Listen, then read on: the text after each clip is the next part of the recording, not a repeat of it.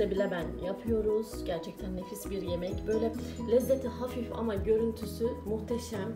Ee, misafirlerinize de sizi mahcup etmeyecek bir yemek diyebilirim arkadaşlar. İç harcı için şöyle bir çay bardağı kadar pirincim vardı. 400 gram kadar kıyma.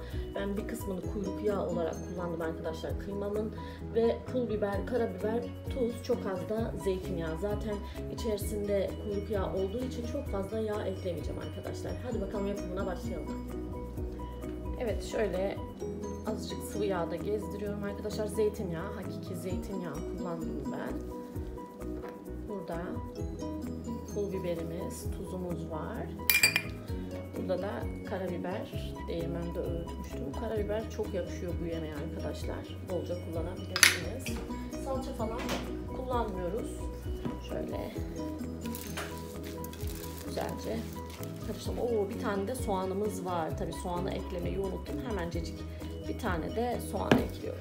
Getiriyorum hemencecik. Yani şöyle minik minik kıydığımız soğanımızı da ekleyelim. Bir tane küçük boy soğan ekledim arkadaşlar. Evet, karıştırmaya devam edebiliriz. Çok az pirinç, bol et oluyor arkadaşlar şöyle aslında sebzeli mantı yemiş gibi hissedebilirsiniz kendinizi. Yani e, hiç hamur yok, bol et ve sebze, yoğurt.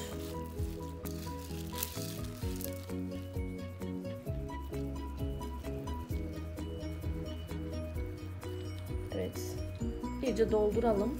E, pirinç ağırlıklı olmadığı için ağzına kadar doldurabiliriz. Çünkü etler zaten pişince küçülecektir arkadaşlar. O yüzden Şöyle ağzına kadar dolduruyorum iyice.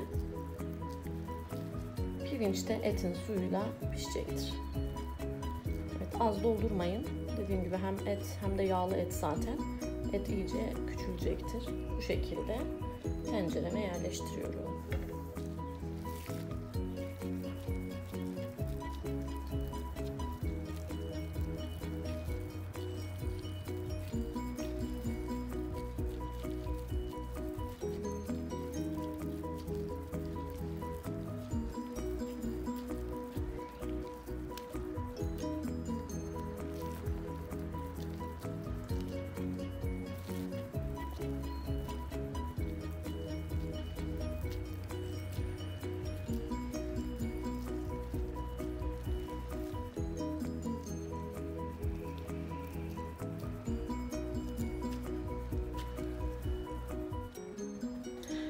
Evet kabaklarımı doldurdum güzelce. Birkaç tane de biber ekledim. Normalde bu yemekte biber olmaz ama ben yakıştırıyorum. Bir de iç harcım arttı. Ee, hem güzel bir acılık veriyor hem de renk katıyor yemeğe. Ben ekliyorum öyle söyleyeyim. Ama normalde konmaz külse bile bene biber arkadaşlar. Şöyle e,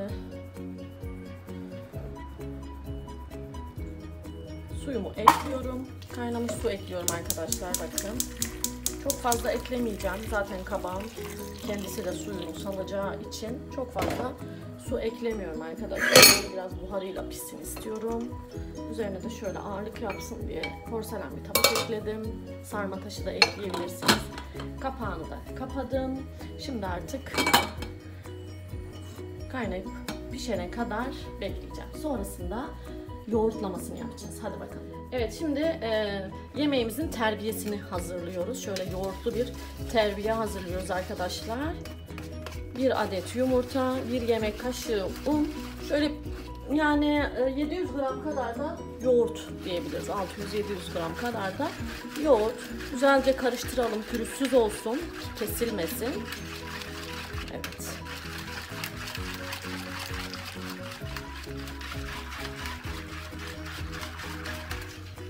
Evet. Sevgili Nurten'cimle kahve içerken bir yandan da yemek yapıyoruz. Nurten'im ne yapıyoruz? Yemeğimizin adı ne? Ezan da okunuyor. Kürse bile ben. Nurten'e yakında Arapça öğreteceğim arkadaşlar.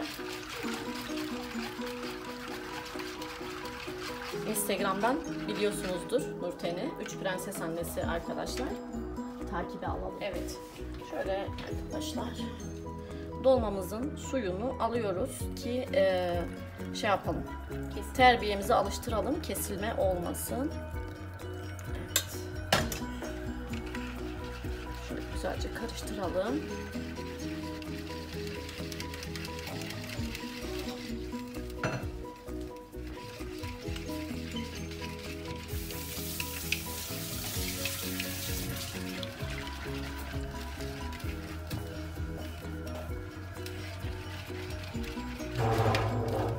Güzelce terbiyemizi alıştırdık. Şimdi artık yemeğimizin üzerine dökelim.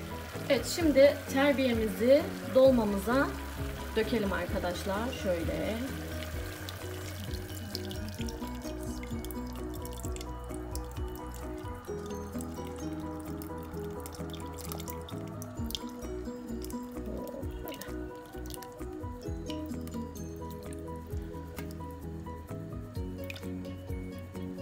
Sosum da güzelce pişecek arkadaşlar. Şimdi kapağını kapatmıyorum hemen kesilme olmasın diye. Ne yapıyorum? Şöyle birazcık kaynasın.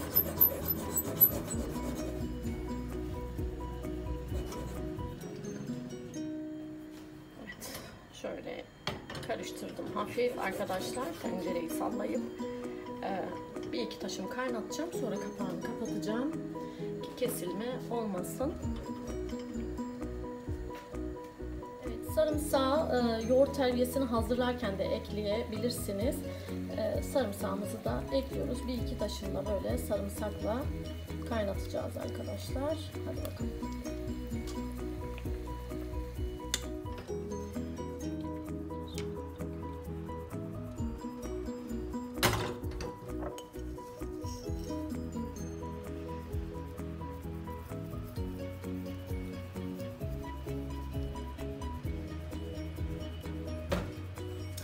Evet arkadaşlar üzerine nane serptim. Çam fıstığı da e, yakıp dökebilirsiniz. Üzerine badem ekleyebilirsiniz. Çok yakışıyor gerçekten. E, böyle bademi kavurup üzerine dökerseniz çok güzel oluyor gerçekten. Yine çam fıstığı da aynı şekilde. Ben birazcık böyle nane ile süsledim. Benim çocuklarım çok seviyor bu yemeği arkadaşlar. Hem besleyici hem lezzetli hem de yapımı oldukça pratik bir yemek. Tavsiye ediyorum. Mutlaka deneyin. Şimdi size iç dokusunu da göstermek istiyorum yemeğimizi.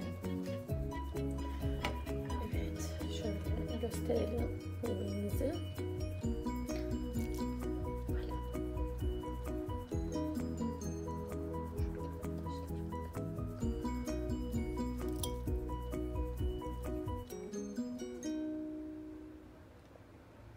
Gerçekten